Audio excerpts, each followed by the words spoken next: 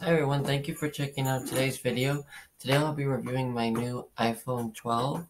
Um, it is a 64 gigabyte model and it's just a regular 12, not a Pro Max or any of the other um, models. So here we open it up, it's a pretty standard Apple box and you have your SIM card in here and the little tool to take out the SIM card. Pardon me, not the SIM card, but the tool to take it out in here and um, it does not come with a charger.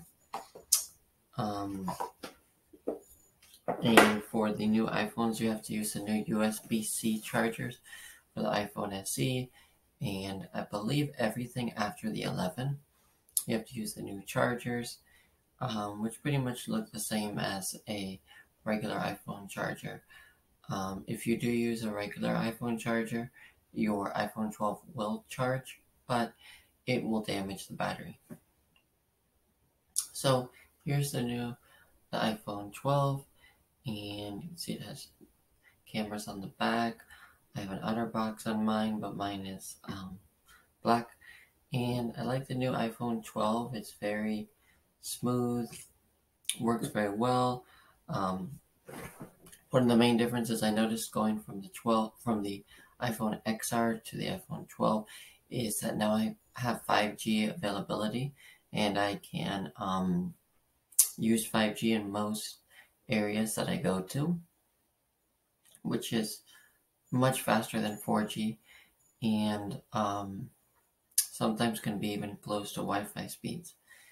And um, with the iPhone 12, you also have the availability to do wireless charging, for example, of your computer or if you decide to buy a wireless charger from Apple, you have that option to charge your phone without any cords, which I'm going to start doing. I'm going to, um, T-Mobile sells the wireless charging stations just for the iPhone, and those work really well from what I've heard.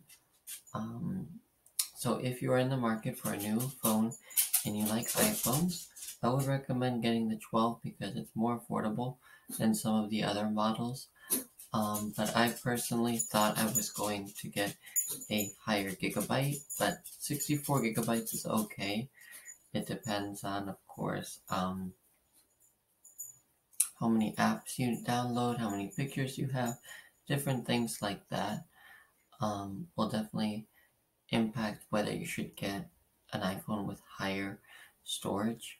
For my next iPhone purchase, I think I'm going to get 128 gigabyte just so that I have that extra space that um, really is necessary because we have so many things on our phones that it's a good idea to have that extra storage even if you don't need it at that moment.